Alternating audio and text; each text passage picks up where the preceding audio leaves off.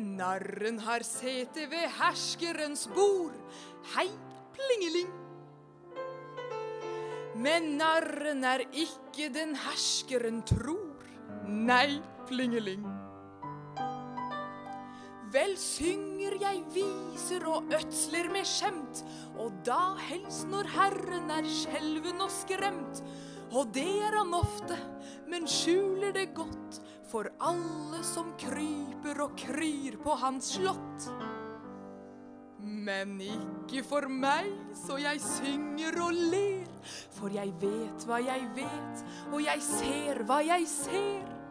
Ja, ha-ha-ha, jeg ser.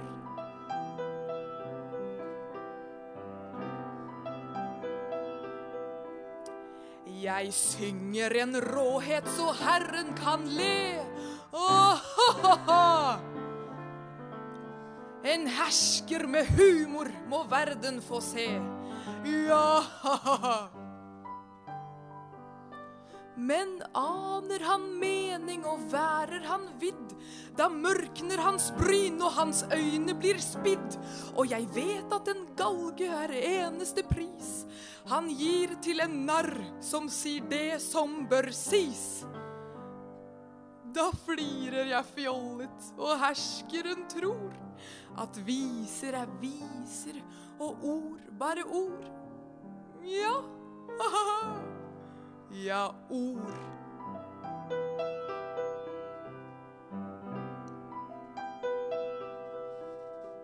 Og herskeren rår over fattig og rik.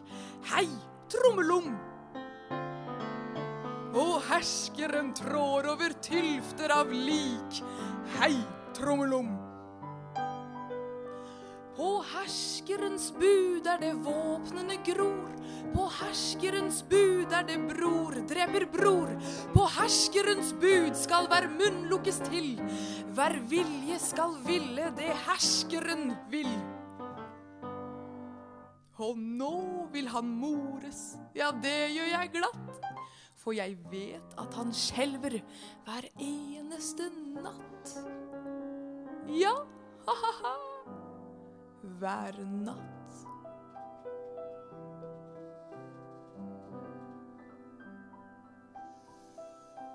Og herskeren sovner fordrukken og mett.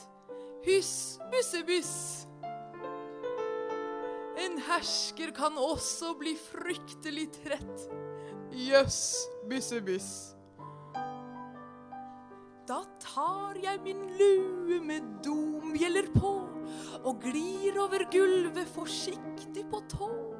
Og siden når klokka blir kvart over tolv, da setter jeg lua på herskerens knoll. Han drømmer og laller med gapet på gløtt, og bjellene singler så spydig og sprøtt. Ting, tingeling, sov søtt.